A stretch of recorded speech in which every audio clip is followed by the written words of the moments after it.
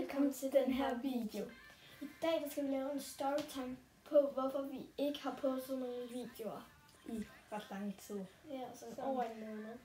Som vi lovede jer på, ja, på vores sidste video. Ja. Så øhm, lad os bare til at komme i gang. 3, 2, 1. Okay, det startede sådan med, at vi fik lige pludselig nye iPads. Fik at vide, at vi skulle have nye iPads. Og vi måtte ikke have, vi havde ikke App Store, måtte ikke downloade noget. Det kunne vi heller ikke rigtigt, men og vi måtte heller ikke have spil på. Så da vi endelig fik iPadsene, så blev vi enige om, at vi ville prøve at logge ind på YouTube fra den iPad. Men der gik flere måneder efter, at vi gjorde det.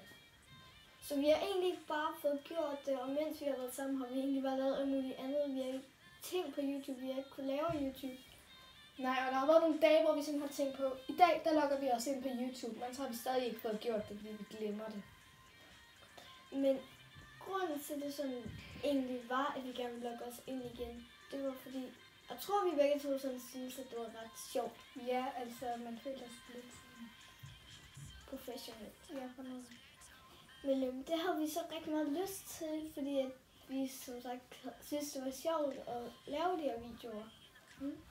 Men altså, grunden til, at vi sådan ikke rigtig fik det gjort, det var nok, at vi tænkte over det, og hvis nu at jeg kom på ideen, lad os spørge om e-mail kode, så øhm, sagde, hvis du lige sagde, det gør vi om en time eller sådan noget, så fik vi stadig gjort det, fordi vi var i gang med noget andet.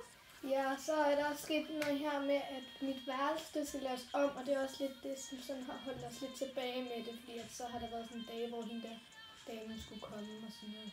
Ja, men der, øhm, du har også selv sagt, at der rigtig meget sådan om bag kameraet, men her der skal hun have noget tapet. Mhm.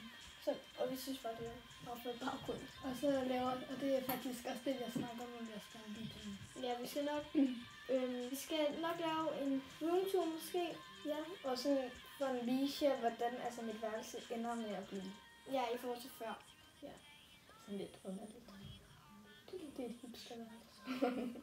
Ja, men lige nu så er der sådan sengen, den øh, står sådan her, helt hen til natbordet, og der er rigtig mange pokaler oppe i vindueskarmen, og Ellers, det alt ligger bare på gulvet og alt sådan noget.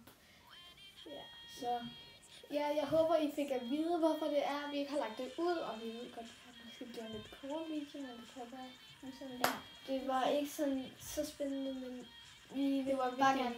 Ja, altså det var vigtigt for os at fortælle jer det. Fordi at. Så vi håber, vi ses i vores næste video, og så Må I fortsætte god dag. god dag, ja. Hej.